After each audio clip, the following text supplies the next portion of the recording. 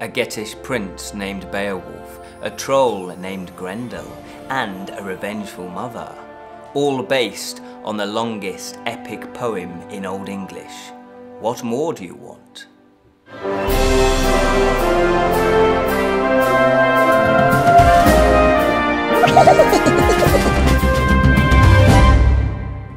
Hello and welcome to the Friday Fancy Show from the Bottled Imp, exploring the realms of fantasy. My name is Ken Boyter and today we're going to take a look at Beowulf and Grendel, or Grendel as it probably is pronounced properly. Now this, as you probably have guessed, is uh, loosely based, and I'm going to say that, loosely based on the Anglo-Saxon poem Beowulf, and it stars Gerard Butler, and it's directed by Stu. I, I wouldn't be able to pronounce it. Sturla Gunnarsson. Yeah. So as you can probably uh, tell, it is it's actually a joint venture, Canadian and Scandinavian. And this was very kindly bought for me by Julian as a birthday present. So I was very keen and eager to watch it. Let's see if he's wasted his money or not. Beowulf and Grendel, Grundle, Grendel, I don't know how you'd say it now, Grendel. He is a troll, Grendel, if you're wondering. What's the setup? What is the story? Well, the troll plays a key part in the story. The whole action takes place in Denmark and it's all taking place in the early half of the 6th century. So yes, it's Anglo-Saxon times. And the story focuses on a Danish king. Uh, I don't know how to pronounce it. Obviously, it's Hogarth. Hogarth? Hogarth. Hogar is Hogarth, I think. Anyway, he's a Danish king. And the film opens it, and, and what they've done is they put little titles up that say prologue and then little chapter titles. So it's kind of, you know, that's a nod to the way that the poem is structured. So this is the prologue, and it's the Danish king with his warriors, and he is hunting down a troll. But also, the troll has a son.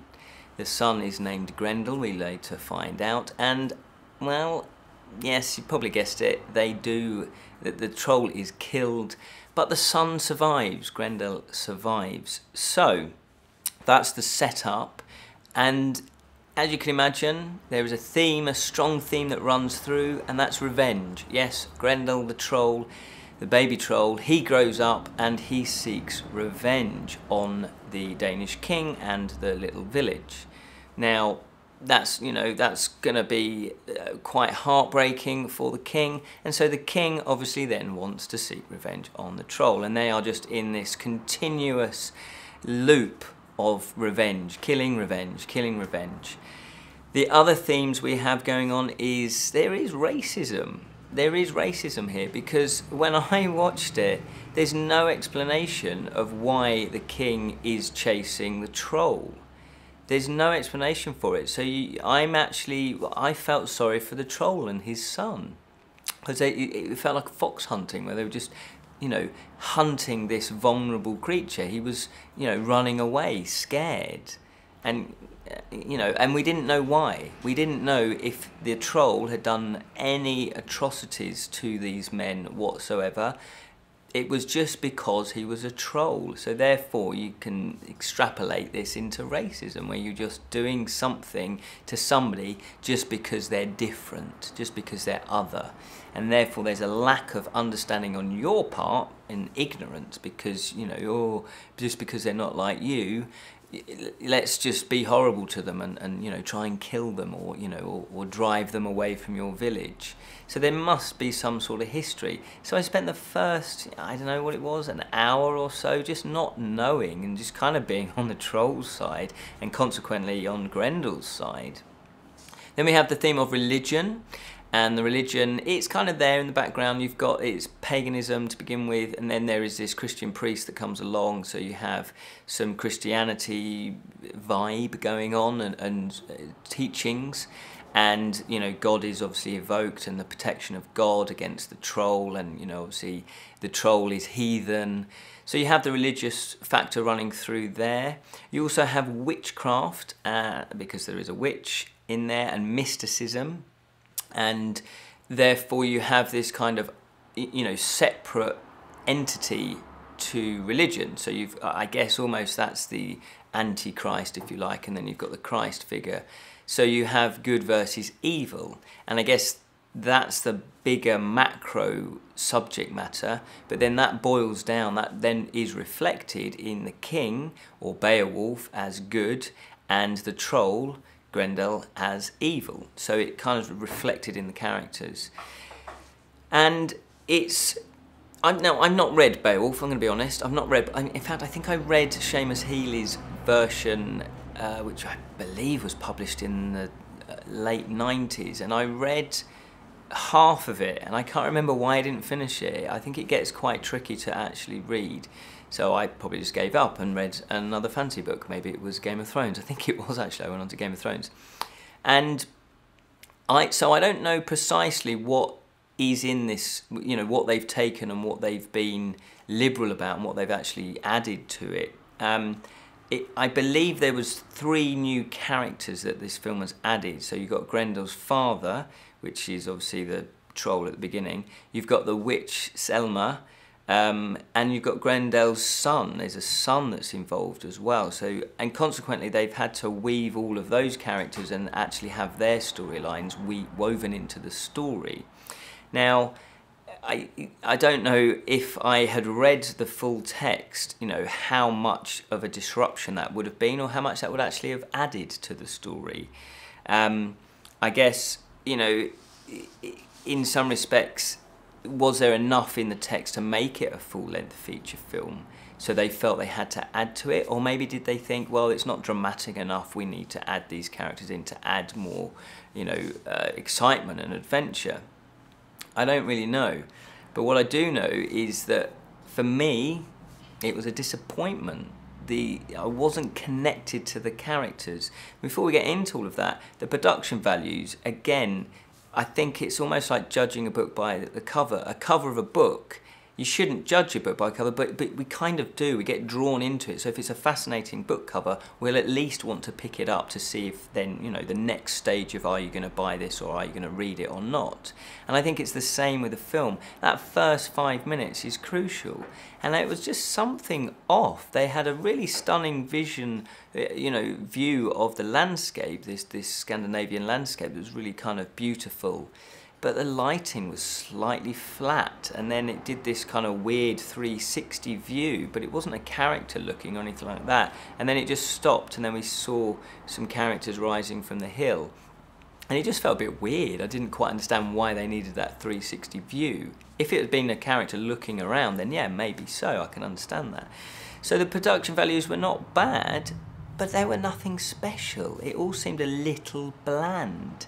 Um, they, they didn't, there was no, no atmosphere created. The lighting was flat and, and uninspired, and the costumes, although they were good and they, they didn't seem to jar, they felt like they were new. You know, they weren't muddy, they weren't worn, they didn't feel lived in, they didn't feel real. Did just feel like they'd just come out of the costume department, you know, out of the truck. So they, they should have muddied them up. People should have had mud on their faces. you know, this is a hard living. If you're a Viking, if you're sixth century, you're going to be, you know, exposed to the to the elements. You're going to be hunting for your food. You're going to be fishing. You're going to get dirty. You're not going to look like an actor. You're not going to look new and modern. Now, I put all this down to, I was thinking about this, why did this film, for me, it was a disappointment, why has it felt flat? And I put it down to the direction of it, the director and his vision. It was uninspired, it was unimaginative, the pacing was all the same, even though this is an adventure, there's meant to be excitement and, you know, uh, action and tension and drama. There was none of that. None of that. There was no real characterization. Yes, we kind of got to know them a little bit because there was talky talky bits, you know, in taverns, and that was quite nice. But the dialogue, oh, the dialogue was atrocious, absolutely atrocious. The first thing that jarred for me was uh, the accents. So that's kind of part of the dialogue. The accents, too many varied accents. You know, they should have just stuck to one type of accent. And then Beowulf, yes, he comes from a different land, so maybe his accent and his clan could have been slightly different accents. But everybody had seemingly a different accent. And the priest, yes, the priest came from outside, so yes, he could have a different accent. but everybody else seemed to be a bit wonky, and I'm not sure if they were putting on accents and then they were drifting off. That didn't work. But the dialogue, they dropped the F word. I wasn't expecting modern day swearing. Now, I know some of our swear words are Anglo Saxon. I get that. But it just seemed out of place. It didn't seem like it, it fitted. And also, at one point, there was uh, somebody mentioned teens they said when when like when they get to that age, when they get to they're in their teens, teenager teens. That's that's a modern word. You know, I think that was created and, and first used in the 50s, 1950s, not 650 or 550 AD. So it just really jarred. The dialogue was a strange mixture of kind of old English and then modern, almost slang and jargon. So that really then, and if you're trying to recreate something that's meant to be ancient, you have to have everything spot on. Otherwise, it breaks. You know, the fourth wall is broken, and, and, and then you just you kind of disconnect then from the characters and from the film. It did feel like it was a series of events that happened because of that. I couldn't connect to the characters. I didn't feel emotionally connected, and uh, Gerard Butler, I don't know if I've seen him in other films. Maybe I have, maybe I haven't. But I just, I thought he was miscast. He wasn't, I don't know, he wasn't warm enough. He wasn't wise enough. I didn't connect with him. He didn't really have any charisma. I didn't feel like he could lead men into battle and be this heroic warrior that he's meant to be. So that was a shame. I think he's probably quite a good actor normally, but he just seemed like it was all surface. There was no real depth to his character. So consequently, because of that, all the action that takes place, it's just all very even. It was just bland, you know? It was kind of like just insipid and and that's kind of the worst thing I think a film can be where it just doesn't really evoke anything so he didn't even tip into that oh it's really bad that it's good category it was just kind of like, hmm, okay, yep, yep, that's happening, that's happening. And for me, this was such a missed opportunity. The story is over 1,000 years old, as far as we know it. The tradition of the story, it's in verse.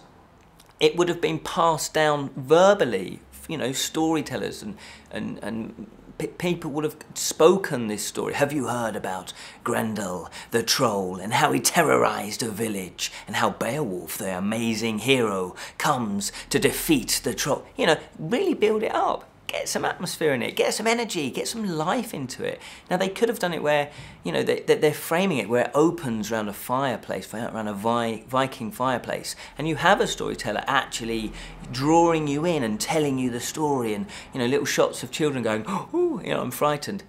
And then cut to the actual action, cut to the story. So we see the story. And then every now and again, you could cut back to the storyteller, really engaged and passionate about the story. And then we would have been engaged and passionate about the story. But no, they told it like a regular story.